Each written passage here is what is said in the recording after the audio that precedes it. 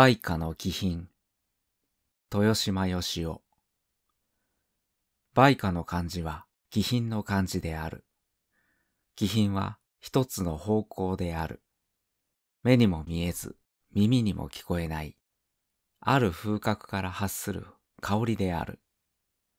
甘くもすくも辛くもなく、それらのあらゆる刺激を超越した絵も言えぬ香りである。人をして思わず鼻孔を膨らませる。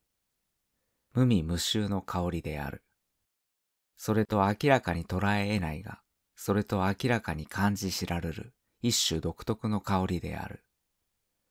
どこからともなく、なぜにともなく、どこへともなく、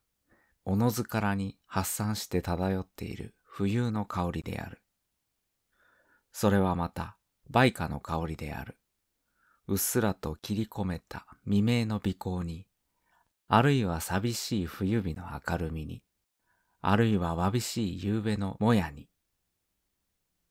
あるいは冷々とした焼きに、ほのかに織り込まれて、捉えがたく触れがたく、ただ脈々と漂っている一種独特の梅花の香りは、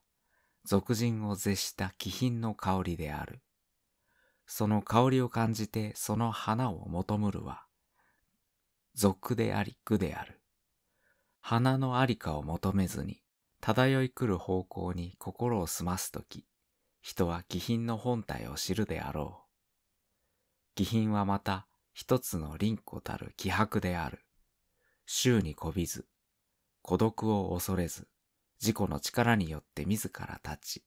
おごらず卑下せず、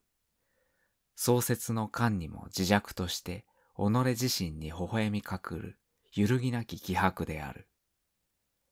肥大ならず、歪小ならず、膨張せず、萎縮せず、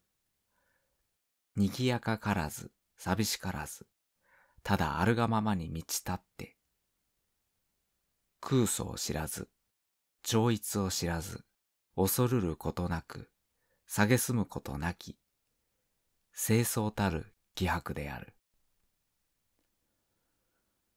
それはまた、梅花の気迫である。創設の寒さをしのぎ、自らの力で花を開き、春に先駆けして微笑み、しかもおごることなく、卑下することなく、爛漫たる賑やかさもなく、荒涼たる寂しさもなく、ただ静かに己の部を守って、寒空に方向を漂わしている姿は、まさに気品そのものの気迫である。しみじみと梅花に見入るとき、恐怖や別紙や悲哀や歓喜など、すべて心を乱すがごとき情は静まって、ただ気高き気品の気迫に人は自ら打たるるであろう。気品はそれ自身の性質からして正常なる白色たるべきである。赤や青や黄など何らかの色に染められた気品は世に損しない。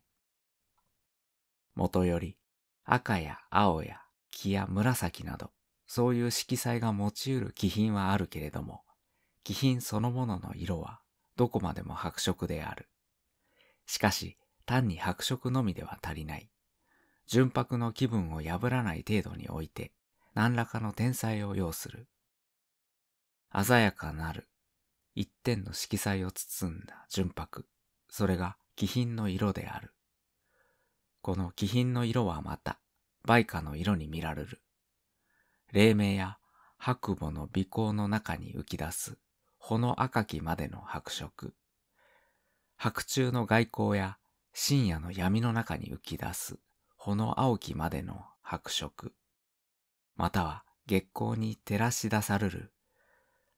薄紫にまがうまでの白色。その白色の花弁の中に花粉の木を小さく転出した色彩は気品そのものの色彩である。それに瞳を凝らすとき、人は自ら心すがすがしくなって気品の妙手を悟るであろう。気品には一つの渋みがあり、しかも同時に一つの新鮮味がある。気品は九州でもなく、また新規でもない。純粋の気品は骨董と信仰案とを包含し、両者を調和したものである。老と弱と旧と真とを寄せ集めて、しかもそのいずれでもなく、老と旧との渋みを取り、弱と真との新鮮味を取りきたった一種高級的なものである。古さから来る喫屈豪華と新しさから来る自由調達と両者を具有してしっくりと落ち着いたものである。この落ち着きはまた梅花の木に見られる。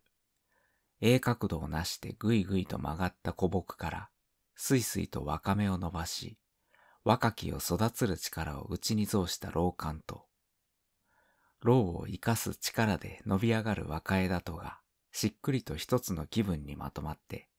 苔むした古い樹皮と、つやつやしい新たな樹皮とが一様に花を出し開かせているのは、まさに気品そのものの姿である。置いたる枝と若き枝とを選ばずに、一様に先に寄っている梅花を眺むるとき、慶長と鈍重とを超越した気品の鎮静に、人は自ら見通するであろう。気品はこの世に稀である。それは地上のものというよりも、むしろ多く天上のものであり、この地上にあってはその本来の面目を汚されるというのではないが、そこにあるにはあまりに清らかすぎる。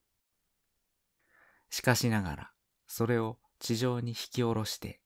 斧が所有としたところに、人の魂の朗らかさがある。地上から天上へと人の魂がかけ渡した多くの橋梁のうちの一つが、そこにあるとも言い得られる。それゆえに、気品は一つの抽象であって、一つの具象ではない。したがって気品はいかなる人にも親しまれやすい。売価の漢字は気品の漢字である。けれども売価は一つの抽象ではなくて具象である。それゆえに人に親しまれにくい。あまりに芳しい香りを漂わせ、あまりに凛子たる気迫を示し、あまりに清らかな色彩になり、あまりに妙味ある木に咲くがゆえに、人間離れのした感じを持って人を退けがちである。しかしながら、売価に瞳を定め、その香りに心を澄ますことは、必ずしも詩人にとってばかりではなく、普通の我々にとっても良い。なぜならば、それは地上の息吹に天上の息吹を交えることだからである。新たな心を持って売価に接し、新たな心を持って売価に親しむことは、売価に人間味が少ないがゆえに、ますます、売価が天上的であるがゆえに、ますます人間にとって良いのである。この意味において、真に売価を見るには、雑踏の巷や、広い梅林や、人工的な盆栽や、または月明かりの夜、などよりもむしろ自由な正々とした境地においてがよい。必ずしも美形を要しないが、ただ自然の風刺の害せられていない、伸びやかな環境の中に、一本の老木が自然のままの枝ぶりに、ぽつりぽつりと花をつけ、ほのかな香りを漂わせているのを、少し冷ややかな2月の夜明け、薄切りの晴れやらぬ頃、爽やかな空気を吸い、小さな霜柱を踏みしだいて、ふと気づいたまま、何気なく足を止めて、しみじみと見入り限る心を持ち、それこそ真に売価を見るの境地である。その一本の老樹の佇まいと、その清らかな花の姿と、その脈々たる香りと、その精霊な早朝の空気とは、ただ一つ売価の気品となって人の心に染み通るであろう。それをも貴族というものは、貴族のみを知って、高潔を知らぬ都廃である。